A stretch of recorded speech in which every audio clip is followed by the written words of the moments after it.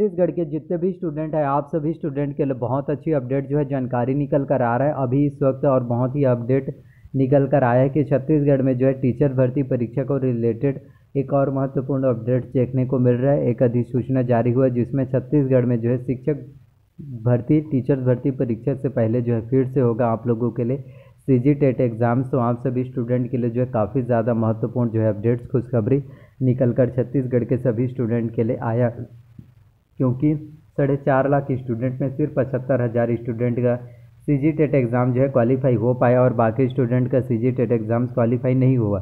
तो ऐसे में आप सभी स्टूडेंट के लिए फिर से सी जी टेट एग्ज़ाम जो है क्वालिफाई करने के लिए फिर से एग्ज़ाम जो है टेट एग्ज़ाम्स आयोजित किया जाएगा। जिस एग्ज़ाम्स को क्वालिफाई करके आप जो है छत्तीसगढ़ में टीचर भर्ती परीक्षा में शामिल हो सकते हैं। क्योंकि जब तक आपका टेट एग्ज़ाम जो है क्वालिफाई नहीं होगा, तब तक आप जो है शिक्षक भर्ती टीचर भर्ती परीक्षा में जो है शामिल नहीं हो सकते। और इस बार क्या है कि सी जी टेट एग्ज़ाम से यदि आपका एक बार क्वालिफाई हो गए तो आपका इसकी वैलिडिटी जो है लाइफ टाइम तक रहेगा।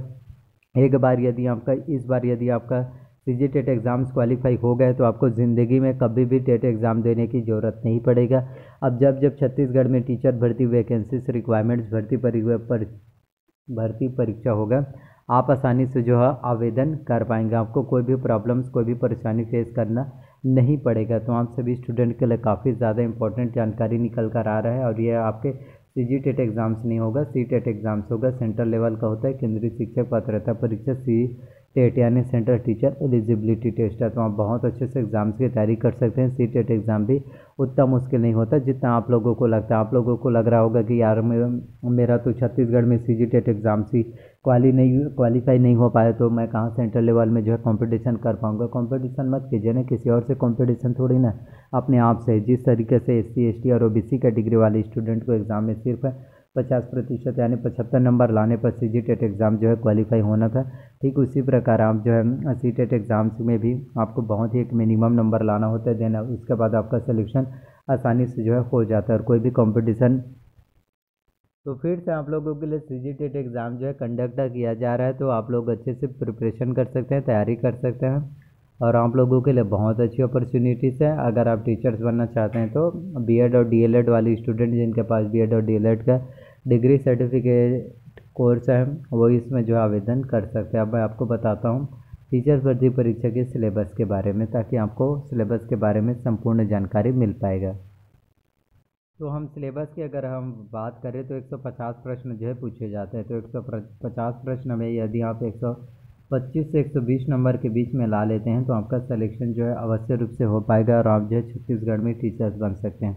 और इसमें सबसे ज़्यादा अधिक महत्वपूर्ण होता है, वो होता है आपके जो है निगेटिव मार्किंग जितना ज़्यादा हो सके आपको जो है निगेटिव मार्किंग माइनस मार्किंग से बच के रहना। यदि आपको निगेटिव मार्किंग से बचने के तरीके पता चल जाते हैं कि कितने क्वेश्चन सॉल्व करने जिससे हमारा एग्ज़ाम जो है क्वालिफाई हो सके। तभी आप एग्ज़ाम्स को क्वालिफाई कर पाएँगे। यदि आप सभी प्रश्नों को सॉल्व कर लेंगे तो आपका एग्ज़ाम जो है क्वालिफाई नहीं हो पाएगा। हिंदी की बात करें तो हिंदी में आपका जो है काफ़ी ज़्यादा इंपॉर्टेंट होता है व्याकरण। आप ऐसे काफ़ी स्टूडेंट को तो ये लग रहा, ये लगता होगा कि यार हिंदी का तो प्रश्न है। हिंदी के प्रश्न तो हम आसानी से सॉल्व कर लेते तो हिंदी के प्रश्न आप आसानी से सॉल्व ज़रूर कर लेते होंगे। लेकिन हिंदी के व्याकरण को सॉल्व करना जो है इतना आसान नहीं होता। है इसमें जो मुहावरे और लोकोक्तियाँ दिए रहते हैं, वो इतने ज़्यादा कठिन रहते हैं टफ रहते हैं, कि आज तक कभी आप लोगों ने वो मुहावरे देखे नहीं होंगे।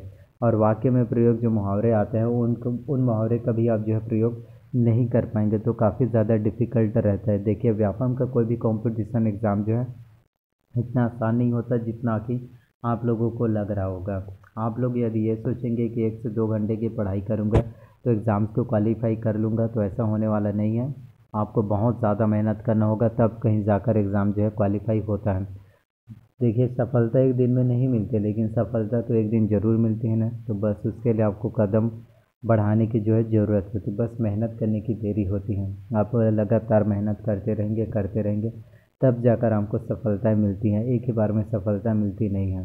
बस कंसिस्टेंसी मेंटेन कीजिए। जो पढ़ाई कर रहे हैं, उसे डेली पढ़ाई कीजिए, रेगुलर कीजिए, कोई भी काम हो, कोई भी प्रोफेशन हो, बस अगर आप उस चीज़ में लगातार मेहनत करते रहेंगे, तभी आप लोगों को एक बेहतर रिज़ल्ट देखने को मिलेगा। अगर आप ये सोचेंगे कि आज मैं मेहनत करूँगा तो आने वाले एक दो महीने में मुझे रिज़ल्ट मिल जाएगा तो ऐसा नहीं होता। और आपको जो है ज़िंदगी में सिर्फ़ एक ही बार में सफलता भी मिल जाए, ये भी मुमकिन नहीं है। आपको ज़िंदगी में असफलता भी मिलेगी तो आपको असफलता को अपनी हार नहीं मानना है। आपको ये नहीं सोचना है कि यार मेरी किस्मत में तो अब गवर्नमेंट जॉब का लिखना ही नहीं है, साथ मेरी किस्मत में ये नहीं है, वो नहीं है कि तो किस्मत का रोना मत रोइए।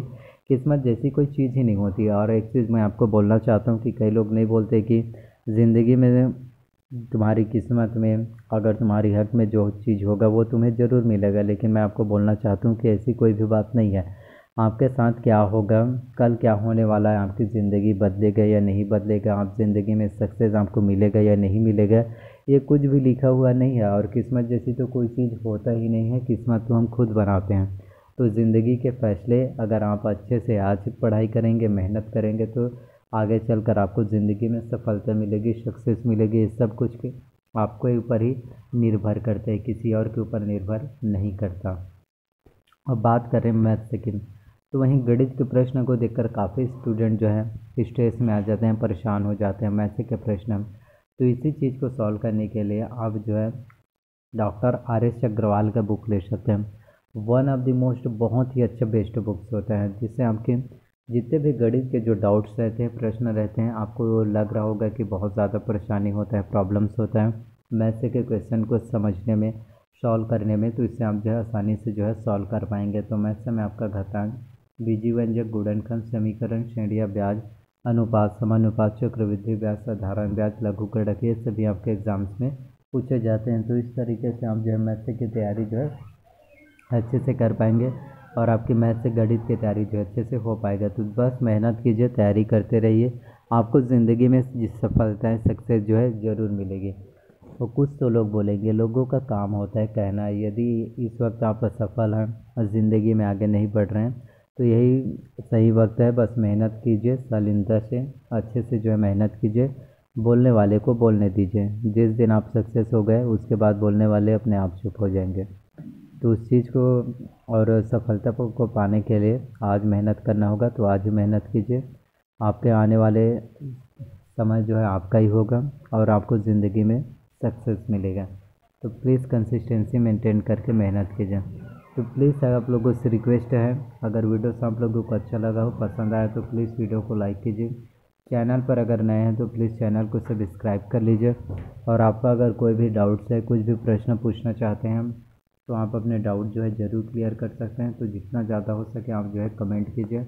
और आप सभी के कमेंट का मैं रिप्लाई जो है अवश्य करूँगा। तो इसी तरीके से मेरे चैनल पर इसी तरह से government job vacancy requirement counselling से रिलेटेड वीडियोज़ जो आप लोगों को मिलते रहेंगे। सो थैंक यू मिलते हैं अगले वीडियोस में। धन्यवाद। आप सभी का तो एग्ज़ाम्स की तैयारी करना शुरू कर दीजिए।